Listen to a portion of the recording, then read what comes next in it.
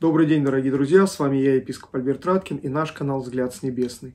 Подписывайтесь, ставьте лайки, распространяйте в своих соцсетях, а также поддержите нас молитвенно и финансово. За все благодарны. Я считаю войну одним из самых трагических последствий грехопадения первых людей. Войны, ставшие неотъемлемой частью истории человечества, ясно демонстрируют, насколько глубоко человечество поражено грехом. Именно греховностью объясняется столь часто и в большинстве случаев совершенно неоправданное вооруженное насилие одного народа по отношению к другому, а подчас даже и среди своих соотечественников. Исторический опыт человечества показывает, что развязывание войн чаще всего было вызвано такими пороками, как жажда наживы, тщеславие, ксенофобия, пренебрежительное отношение к человеческой жизни. Вооруженные конфликты несут неисчислимые бедствия не только непосредственным участникам, их родным и близким, но и вообще всем гражданам воюющих и сопредельных государств.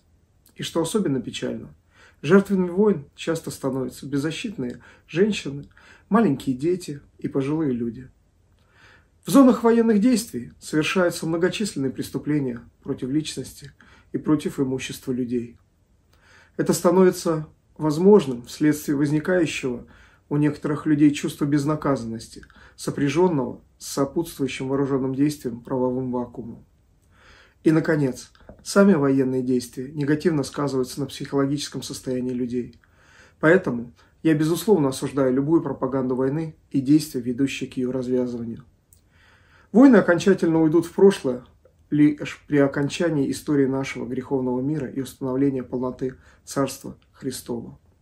Несомненно, российские христиане-протестанты ожидают наступления того времени, когда все народы перекуют свои мечи на орала и копья свои на серпы, не поднимет народ на народ меча и не будут более учиться воевать, как написано у пророка Исаия.